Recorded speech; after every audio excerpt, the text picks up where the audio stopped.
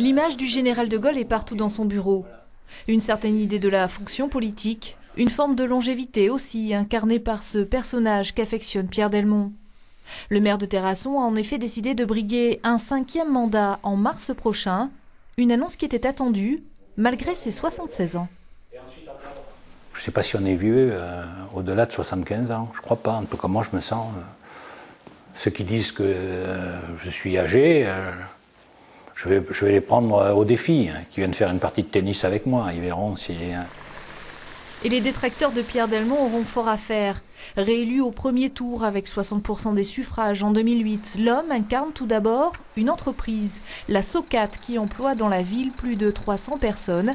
Il dispose aussi d'un argument choc, la baisse des impôts locaux, enregistrée depuis trois ans.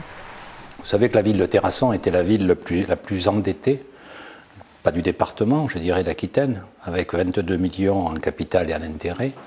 Euh, aujourd'hui, notre bilan, euh, c'est 60% euh, d'endettement en moins. Des impôts, comme je viens de vous le dire, qui n'ont pas augmenté depuis 22 ans, et avec une baisse de 6% sur ces trois dernières années. S'il est réélu, Pierre Delmont assure vouloir former pour l'avenir son successeur. Aucun autre candidat, pas même du côté du Parti socialiste, ne s'est encore fait connaître.